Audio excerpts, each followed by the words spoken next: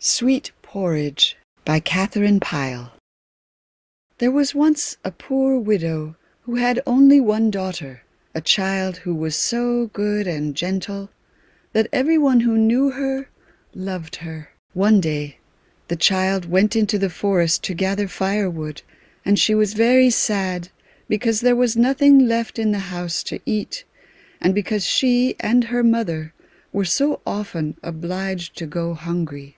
She had already gathered a bundle of sticks, and was about to go home, when she saw a poor old woman who had also come to the forest for wood. The woman was so bent and stiff that it was pitiful to see her. The child felt sorry for her, and wished to help her. "Good mother," said she, "let me gather the wood for you. It must be hard for you to stoop." She put down her own load and gathered for the old woman as much as she was able to carry. "I would take it home for you," said the little girl, "but my mother is waiting for me, and I must make haste, for I am already late." "Child," said the old woman, "you have a good heart, and you deserve to be rewarded." She then drew out from under her cloak a little iron pot. "Take this," she said. "It is a magic pot. Whenever you are hungry you have only to say, "Boil, little pot, till the porridge is hot,' and it will begin to boil and fill up with sweet porridge. When you have had enough, say, "Cease, little pot, the porridge is hot,' and it will stop boiling." She made the child repeat the words after her several times, and she then gave her the pot and hobbled away through the forest. The child was filled with joy at the thought that now she and her mother need never be hungry again. She ran home as fast as she could, carrying the pot with both hands. When she came in, her mother asked her where the wood was. "I have brought home something better than wood," cried the child. "The wood only warms us, but here is something that will feed us as well." She set the pot upon the table and said, "Boil, little pot, till the porridge is hot." The pot at once began to bubble and boil, and soon it was full and brimming over with sweet porridge.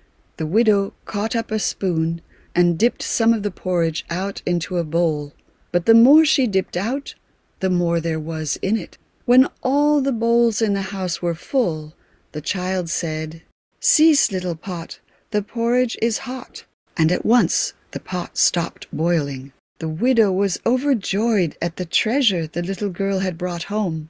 "Come," cried she, "let us sit down and eat."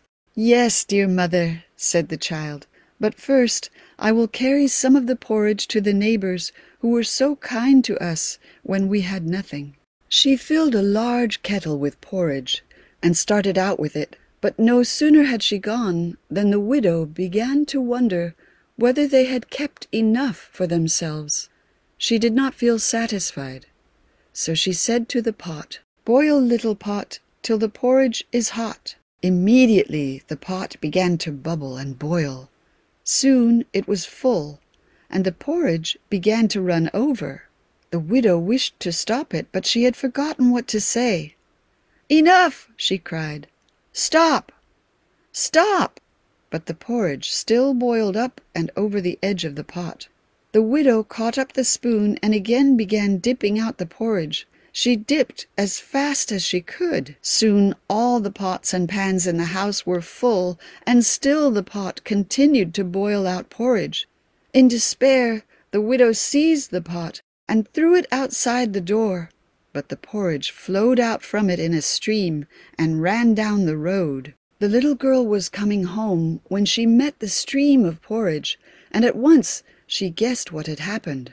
She ran as fast as she could, and when she came to the place where the pot lay, she cried, "Cease, little pot, the porridge is hot." At once the pot stopped boiling, but already enough porridge had been wasted to have fed the whole countryside. After that the widow never again dared to tell the pot to boil. When they wished for porridge, it was the child who spoke to it. But from then on she and her mother never lacked for anything. for the porridge was so delicious that people came from far and near to buy from them. If you like the video, put a like, subscribe to the channel and click on the bell to not miss our new videos.